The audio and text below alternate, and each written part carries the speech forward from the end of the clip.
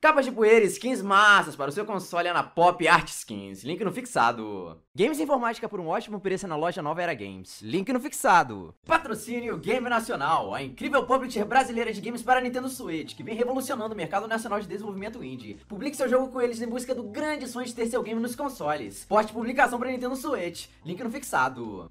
Bonequinho Joiveno de alta qualidade feito pelo meu irmão. Link aí no fixado, pessoal. FNAF Security Breach é um jogo que tá dando o que falar. O novo grande game da saga do Scott Cawthon, feito pela Steelwool, tá sendo um dos games mais comentados do final de 2021 e até agora em 2022. Direto tá tendo gente comentando sobre ele na internet, fazendo vídeos, fazendo artigos, fazendo tudo que você imaginar aí, muito legal. Além de, claro, ter muitos fãs comentando aí. Entretanto, sabemos que seu lançamento não foi perfeito, pessoal, pois veio lotado de bugs, veio lotado também de problemas de performance e até problemas de design de níveis em todas as versões do game. Entretanto, pessoal, infelizmente, eu acho que nenhuma versão desse jogo consegue ser mais desrespeitosa com os fãs do que a do PlayStation 4, rapaziada. E hoje eu irei analisar essa versão que é uma verdadeira vergonha com os fãs, um desrespeito, pessoal. E que a Steelwool literalmente veio a público falar que lançaram mal feita de propósito, mesmo sabendo que poderiam fazer algo melhor. Hoje daremos uma olhada na vergonha absurda conhecida aí como FNAF Security Breach para PlayStation 4, pessoal. Que realmente, rapaziada, realmente tá sendo lançada desse jeito aí, pensando em dinheiro para os empresários da Seawool e para saciar os fãs mais ignorantes da fanbase que não sabem de nada do desenvolvimento de jogos, enquanto os fãs de verdade queriam que eles levassem o tempo que fosse preciso para fazer. E antes de começar, não esquece de gastar aquele like, se inscrever, todo aquele bababá, clichê de youtuber que você já sabe, né? E me segue aí no Instagram, Joiveno Oficial. Foi? Então bora! Primeiramente, eu vou dar um background, um fundo aí, né, as respostas para vocês do desenvolvimento absurdamente ambicioso deste jogo. FNAF Security Breach estava sendo feito desde 2019 aproximadamente, rapaziada, sendo parcialmente anunciado pelo Scott companhia através de algumas concept arts maneirinhas, onde mostra os animatronics num tipo de shopping center e afins. E bom, seguiu assim, pessoal, seguiu assim por um bom tempo e tal. E o projeto foi muito hypado de cara, rapaziada, sendo um sucesso gigantesco em recepção inicial. E o desenvolvimento continuou junto da Steel com Scott supervisionando aqui e ali. E a Siwu criou uma ambição de fazer o projeto se tornar o maior FNAF de todos, o maior, mais ambicioso, mais bem feitinho aí, né? Em mundo aberto e afins, parcialmente também. Só que, infelizmente, o Scott teve uma surpresa que por um lado foi boa, mas por outro foi bem negativa.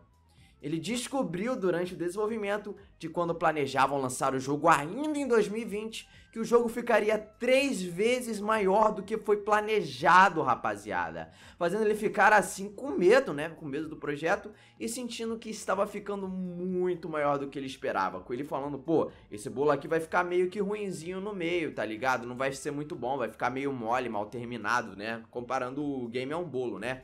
E bom, ele deu o aval, porque ele queria ver o que o time conseguiria fazer e afins, tá ligado? Poderia ficar algo incrível. E bom, seguiu-se o desenvolvimento de todas as versões do jogo. E aí, né, ocorreu todo aquele apocalipse no mundo que a gente viu em 2020. Além da gentinha lá do Twitter, cancelaram o Scott em 2021 e ele começar a ficar mais afastado do desenvolvimento. E bom, os engravatados da Steelwool ficaram totalmente em estresse por toda essa situação. Isso levou a ter uma tensão toda interna. E infelizmente o projeto ficou assim, pessoal, com muita ambição, problemas no desenvolvimento, adiamento e mais. Com os engravatados da Steelwool ficando nervosos também pela demora do lançamento, pelo que era planejado originalmente, que era para ser um jogo de 2020 e que já estava adiando aí para começo de 2021, meado de 2021 e agora final de 2021. E outra coisa que infelizmente alguns fãs mais ignorantes, rapaziada, bem mais ignorantes mesmo aí e tal, esse pessoal, infelizmente que são uma minoria vocal, mas que sabem gritar, ficaram enchendo o saco e falando pra Steel lançar o jogo o mais breve possível, pois eles não queriam esperar de jeito nenhum. Que normalmente é aquele pessoal que provavelmente quase não joga games AAA e não conhece a existência de fracassos como Cyberpunk 2077. Games que foram lançados anos antes do planejado e que no caso de Cyberpunk, por exemplo, foi um fracasso absurdo por misturar a voz dos fãs ignorantes e a fazer isso acontecer. E também devido a engravatados idiotas que forçam desenvolvedores a lançarem games o mais rápido possível para dar o dinheiro que eles esperam do investimento. Não ouvindo aí o pessoal pedindo mais deadline e simplesmente fazendo ocorrer esses desastres, né? E assim, vimos lançar no PlayStation 4, PC e também no PlayStation 5. E o jogo, mesmo sendo muito legal e uma revolução para a série, acabou sendo odiado por uma galera, como o Alan Zoga que infelizmente odiou tanto a experiência que desistiu de jogar no meio, o que foi bem complicado. Mas nada nesse projeto sofreu tanto quanto a versão de PlayStation 4 do game, meu irmão. As outras versões poderiam ter problemas, mas essa se supera absurdamente pois meu amigo é um total descaso com os fãs gerais, principalmente vindo dos engravatados da CU, que forçaram a lançar esse jogo assim. Eu quero deixar claro que a própria CU falou publicamente que eles sabiam que a versão do PlayStation 4 estava pior do que algo que era capaz de rodar no Play 4, né? Algo que fazia justiça com o console. Eles tinham noção que estavam lançando algo mal feito, tá ligado? E eles ainda disseram que o problema é tão grande que só vão conseguir resolver totalmente a longo prazo. Mano, se sabiam que tava tão ruim, pra que sacrificar a qualidade de um produto? Parece que pensaram mais em dinheiro do que a experiência da qualidade pros fãs, tá ligado?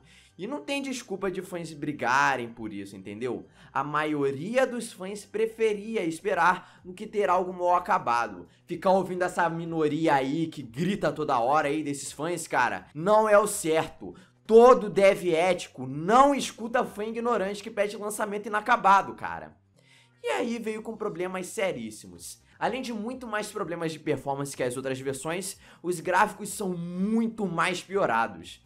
Olha essa tela, cara. Enquanto no Play 5 dá pra entender corretamente que é um desenho ali, no PlayStation 4 é literalmente um borrão, cara. E isso é algo que rola com quase todos os assets do game, indo de algo identificável para algo normalmente que parece um borrão bizarro, como esse telefone extremamente borrado ali além de vários locais e objetos pelo cenário também borrados. A resolução também tá bem baixa, pessoal, ficando visualmente borrado e muito bizarro, cara. Dizem que é 1080p, mas visivelmente é bem abaixo disso, parecendo ter uma resolução dinâmica ou alguma coisa assim.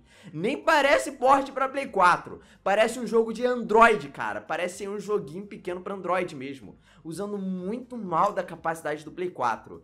E não falem que é pesado até demais pro console. A gente tá falando de uma máquina que roda Red Dead Redemption 2, cara. Isso realmente é um desleixo. E eu devo lembrar que os desenvolvedores vieram publicamente falar que essa versão está piorada de propósito, pois eles não queriam levar mais tempo para ficar algo mais bem feito, cara.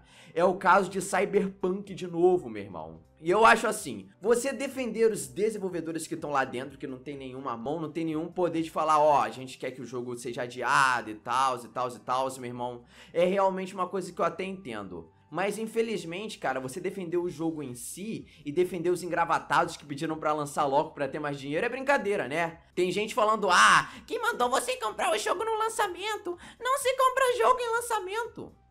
Por que, cara? Agora o desenvolvedor pode lançar jogo mal acabado e quem for reclamar porque tá gastando dinheiro aí vai ser execrado aí pelos fãs aí, cara? Os caras lançaram um jogo totalmente mal feito. Se tá assim, eles não deveriam lançar, pois não está em um estado de polimento que vale o dinheiro absurdamente alto de um lançamento. É tipo tu lançar a beta de um jogo sem avisar a pessoa que tu tá comprando uma beta. E a preço de lançamento cheio, meu irmão.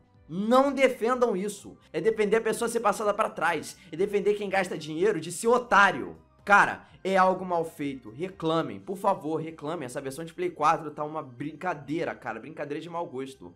Parem com essa mentalidade de pedir para desenvolvedor lançar jogo mais rápido. Isso é pedir para jogo sair mal feito. E também, não defenda se o jogo saiu todo mal feito, porque com certeza isso foi a decisão de um cara engravatado que queria dinheiro de fanfominha, cara.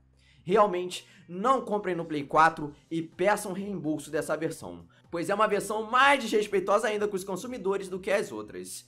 Com certeza, um vacilo. E bom pessoal, esse é mais um Gilzinho, dessa vez sobre a versão vergonhosa do Play 4 do FNAF Security Breach. Eu espero que tenham curtido. Games informática por um ótimo preço na loja Nova Era Games. Link no fixado. Patrocínio Game Nacional, a incrível publisher brasileira de games para Nintendo Switch, que vem revolucionando o mercado nacional de desenvolvimento indie. Publique seu jogo com eles em busca do grande sonho de ter seu game nos consoles. Poste publicação para Nintendo Switch, link no fixado. Ah, eu quero agradecer a todos que estão me apoiando no Apoia, se não seja membro, e também na monetização do canal, cara. Sério mesmo, obrigadíssimo. E se você quiser ajudar, e claro, tiver uma condição financeira estável, eu vou ficar extremamente grato, mano. Mas olha só, de vocês assistirem esse minhas obras é uma grandiosíssima ajuda. Sério mesmo, pessoal, obrigadíssimo. Vocês são nota infinito.